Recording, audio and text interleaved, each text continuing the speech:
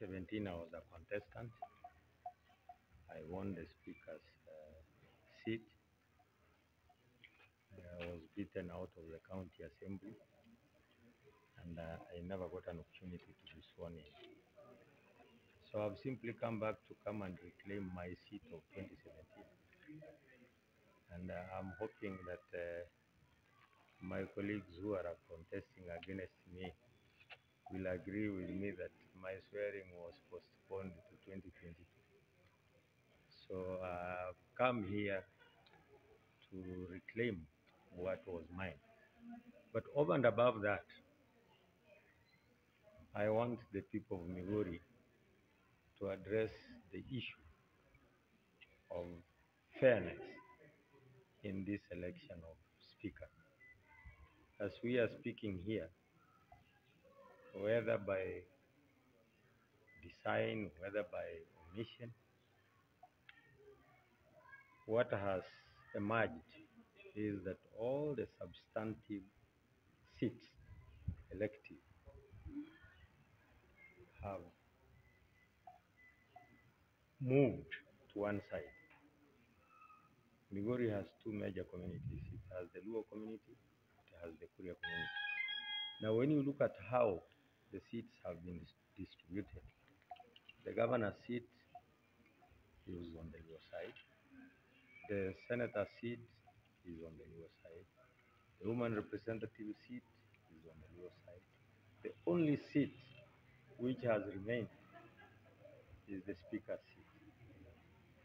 Now the question is, if all of us are living in this county, isn't it unfair, surely, that all these seats should belong to one category of people in a multi, you know, uh, mixed society?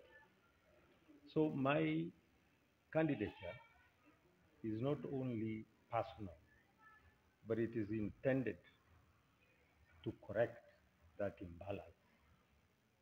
Uh, on issues of qualification, I'm qualified like everybody else. But on the issue of fairness, everybody else is being unfair. So we, we, we want that imbalance corrected so that Migori can have a balance of leadership. One seat for the Kuria community in the county assembly, three seats in governance for the rest of them. That way we shall have harmony.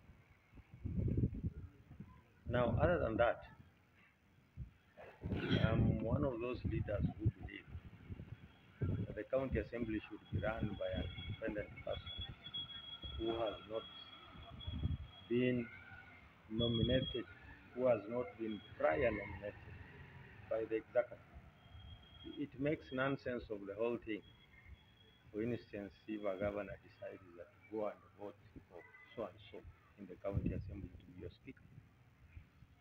Now, how will one preside over a house which is supposed to check and oversight the executive when he has been selected by the same executive?